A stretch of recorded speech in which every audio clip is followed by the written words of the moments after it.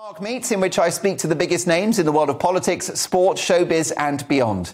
Tonight, legendary US talk show host Yaron Brook, a man who has energetically used his platform to speak up for freedom, democracy, economic liberty, and small governments. Yaron is the best selling author of In Pursuit of Wealth The Moral Case for Finance, as well as Free Market Revolution Equal is Unfair America's misguided fight against income inequality. Yaron has also been a columnist at the Wall Street Journal, USA Today, Investors Business Daily, and many other publications. And he has since hit the headlines with his hugely popular online talk show, The Yaron Brook Show, which has amassed a huge global audience. I'm delighted to say that all the way from the United States, Yaron Brook joins us now. Hi, Yaron. Welcome back to GB News. Thanks for having me on. It's a pleasure to be here. Very good to see you. Uh, listen, uh, inflation is, is, is, like out of control in the United States I'm and shocked. across the Western world. you, you, predicted this months ago. Well, we did. I mean, it's obvious that when you uh, send people checks on the one hand, so you increase the amount of money people have to spend. Mm-hmm. On the other hand, you keep them home so they can't produce anything then you get a mismatch between supply and demand. We know when demand is high, supply is low, prices go up. That's almost a law of physics. So yes, uh, inflation was predictable. Uh, it's shocking that the uh, largest employer of PhDs in the world in economics, the Federal Reserve, missed it. Uh, but here we are. We've got inflation, and it's going to be a struggle to get rid of it. Why have Western governments responded to the pandemic with socialism? Well, because I think they panicked. Mm. Because I think that they saw China lock down. China is socialist, so it makes sense that they lock down. They don't care about individual rights. They don't care about individual freedom. They locked down. I think then when uh, the pandemic started appearing in Italy, Italy just panicked. They didn't know what to do. They looked to China hey, China, you know, is adored by, by many politicians in the West. They get stuff done. They have great infrastructure. They produce stuff. So why not mimic them when it comes to the pandemic? Once Italy locked down, then it was just a spiral. It, it's also the case that in the United States, for example, for, for months really, they pretended it didn't exist. Mm. So for February, uh, Donald Trump was telling us, oh, this is not an issue. No problem. nothing will happen here. The CDC developed a test that was useless and didn't allow anybody else to use a test. So uh, the American government completely blew this, completely screwed it up. And then once the pandemic hit New York, they panicked. They didn't know what to do. They locked down. Lockdown is the solution of ignorance and panic. Uh, no document written before the pandemic that describes what a government should do during a pandemic ever suggested locking people down. That's right. I mean, th- these are uh, the, the policies of the Chinese Communist Party. It's, it's ultimately tyranny and, and similarly yeah. economic policies, which have been very much to the left, essentially paying people money to stay at home. Well, yes, and, and it's more than that. Look, we, we've been mimicking China for a long time. Uh, you know, in, the, in both on the right and on the left in the United States, there's increased appetite for central planning. There's increased appetite for industrial policy, increased appetite for having a, a, a national policy around, uh, I don't know, semiconductor manufacturing or other kind of manufacturing. Uh, things that they look at China and China has done, and they assume that is the that is the why China's been successful. That's a completely wrong analysis. It's not the source of Chinese success, and many people in the West are, are copying that. Look, politicians, their instinct is always towards more power. Uh, they might have a great platform, they might give great speeches, they might promote free markets and individual freedom, but once they get the power, they almost always increase the size of government they almost always increase its controls over the economy and control over the individuals. And it doesn't matter in the United States whether it's the left or the right. Uh, look at Boris Johnson. A lot of a lot of promise there, and yet he's governing from the left. He's governing from the perspective of of uh, government intervention, from the perspective of much bigger government involvement in the economy and in our lives. And do you think that the West will ever recalibrate back to its original values for which so many gave their lives, you know, economic and personal freedom? Well, ever is a long time, so uh, hard to tell. I don't see it in the short run. I, I, just don't see the politicians. I don't see the intellectual movement that will drive politicians in that direction. Mm-hmm. You know, when, when it, during the 1970s, when we got Margaret Thatcher and we got Ronald Reagan, that inched us a little bit in that direction, not enough in my view. Some of your viewers here will be shocked that I think Margaret Thatcher was too moderate, but uh, in economic policies. Uh, there was a whole intellectual movement. There were giants, intellectual giants, where there was Hayek in, in the UK, where there was uh, people like Milton Friedman, Mises, Ayn Rand, advocating for these ideas in the US. Today, the movement around liberty, liberty, uh, individual liberty, economic liberty, uh, it, it, it's just thin. It's it's it's not. It's, it's, considered a luxury. I mean, what did Arnold Schwarzenegger, movie star and former governor yeah. of California, say? Screw your freedom. Absolutely. And and look, Schwarzenegger should speak, right? Schwarzenegger came into power as a Milton Friedman like pro markets, pro capitalism governor and very as soon as he discovered that that wasn't very popular in California, shifted and ruled from and, and, governed from the left. He was a he was he was no different than a Democrat when it comes to California uh, politics, and he was very successful from an electoral perspective. So we can blame the politicians all we like, but at the end, it's not their fault. It's our fault. We get the politicians we deserve. We get the ideology we deserve. If we want to change, we have to change. That requires education. So back to your question of will we ever return? Yes, but it's going to take a while. It's going to take uh, new intellectual giants, educating the public, educating us, uh, us about the core values, the core principles at the foundation of liberty, at the foundation of freedom. And until we do that, we can tinker with tax rates, we can tinker with policies. That's not going to do it. We have to change the whole way we think about government. We have to limit its scope. We have to resurrect the concept, the Lockean concept of individual rights, mm. and think about individual rights, and, and the government's sole job is protecting those rights. That's going to take a massive program of education. But there will be a backlash against this big state, oh. won't there? A, because of the economic pain we're now feeling. Because you see, I've fought against these COVID measures since the beginning, and I've always said, look, the bill hasn't come in yet. Oh, yeah. And here we are, and the press are calling today awful April because uh, we've seen fuel prices of, well, basically energy. So to heat your home, that's going up by, in some cases, 50%. Fuel pump prices have gone through the roof. So now the bill is coming in. I wonder if there will be a backlash. But the only issue is, is the state now so big that we can't row back on its enormous footprint? I don't see where the backlash is coming anytime soon. Uh, look, uh, gas bills are easy. Why aren't you fracking? There's plenty of gas here on the island.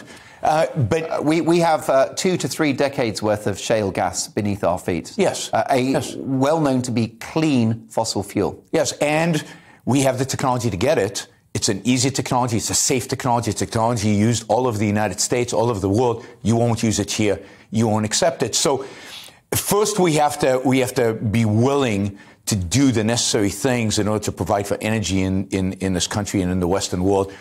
But then, you know, the state is huge. You're, you're, talking about national insurance, you're talking about the NHS, you're talking about all these institutions that are so ingrained.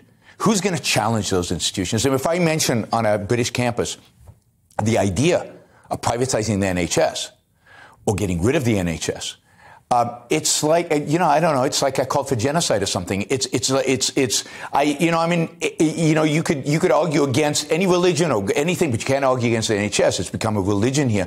So until we educate people about their rights and the fact that the NHS is a massive violation of individual rights and the fact that it is indeed killing people. It, it is not providing the care and that, what, what that do you mean possible. by that? you're, referring to its focus on COVID over the last two years, not treating other illnesses. Not treating other illnesses, but more than that, even before COVID. Look, uh, you, you, have long lines, you have waiting, uh, uh, you know. People in this country die waiting for an MRI. They die waiting for treatment. It's, it's a government program. We don't trust the government to, I mean, I, I often run, run, a business. Run anything. I, I often ask audiences, Here's an iPhone, a beautiful iPhone. Look at this iPhone. What do you think this would look like if a government committee designed it? And everybody laughs because everybody gets it, right? But healthcare, which is much more complicated and much more important than an iPhone, that we let the, we let the bureaucrats who can't run anything, that we let, we let them run it. Why do we expect better results? Uh, so, but that kind of thinking is so foreign in our culture today. We expect the government to provide us. We expect the government to solve our problems. Uh, look at COVID. Instead of treating British, Americans, Westerners as adults, telling them the risks, telling them what was involved, and letting individuals make choices. If I have pre-existing conditions, maybe I stay home. Maybe I should isolate myself. Maybe I should lock myself down. If I'm young, if I'm 20 years old and I'm healthy and I'm a why shouldn't I go out? If I'm 85, yeah, probably stay home. Well, but perhaps that young person will go out and generate a national income for the country, which will pay for the care of that older, vulnerable relative. I mean, think about COVID. COVID was this disease, in a sense, we were lucky because it afflicted the old. So it shouldn't have had any economic consequences because the fact is who produces, who works, who actually generates income? The young who were not afflicted that badly by COVID. So it shouldn't have been a disease. And, and if they were afflicted, afflicted, badly, then the government could easily have had the economic largesse to protect them. If we'd spent a fraction of what was spent yes. protecting the vulnerable yes. and letting the healthy get on with it. Absolutely. We could have cocooned the elderly, protected them from getting the Money virus. no object. And letting the rest of us live. Hmm. Right? And, and we could have provided them with food. We could have provided them with aid. There's a lot of ways in which we, and it would the bill would have been a fraction of what it landed up being. And people would have continued working. So there would be no supply chain bottlenecks because production would have continued. The reason we have supply chain bottlenecks, the primary reason, is because we, we stopped production. We stopped producing. We thought stuff just appears magically. Uh, and it doesn't. Somebody actually has to go to work. And when you prevent people from going to work, you prevent stuff from being created and you create shortages. Now, I'm all for the principle that we receive healthcare at the point of need. Uh, we don't want a situation where you've got to produce your credit card after you've been in a road traffic accident. So the principle of free healthcare as such, even though of course it's not free, I think is sacred to most Brits, myself included. But I'm all for delivering it in the most efficient way. The NHS employs over a million people in this country. It's the biggest employer in Europe. I'm sure it could be a leaner fighting machine. But I, we don't want an American model, do we? Because the Americans pay about twice the amount that we pay through taxes for a service that's half as good. Well, I don't know that it's half as good. I think it's actually better.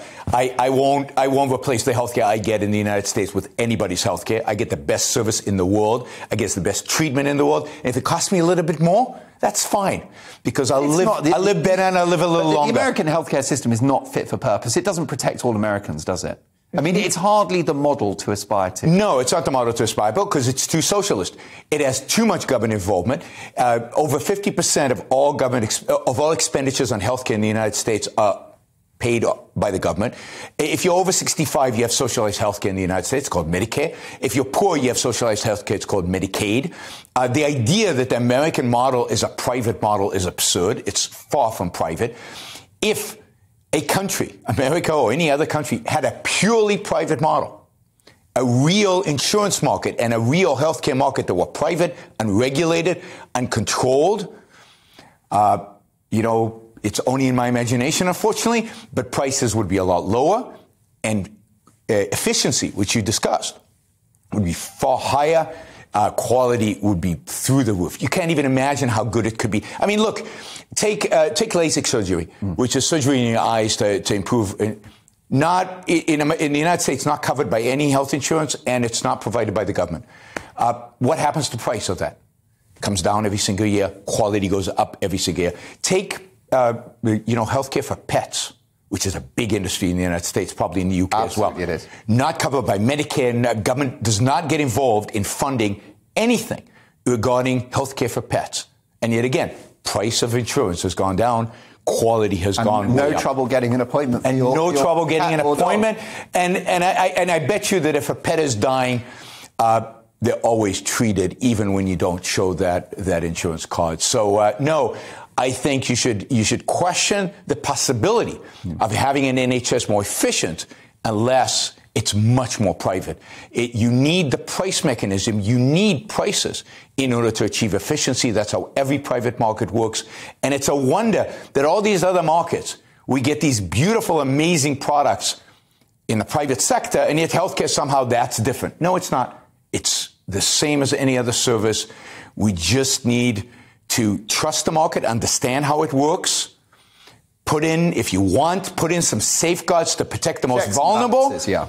Uh, checks and balances, the market provides beautiful checks and balances. It's called bankruptcy and going bust, and it's caused uh, lawsuits and stuff like that. that the poorest will still be cared for. Yes, I, I actually think the poorest are cared for best uh, in a free market. Let me, last point. You know, in a free market under capitalism, there are a lot less poor people because so much wealth is created. I told you this man's not boring. No wonder he's one of America's most watched US political commentators. He is the star of the Yaron Brook show on YouTube.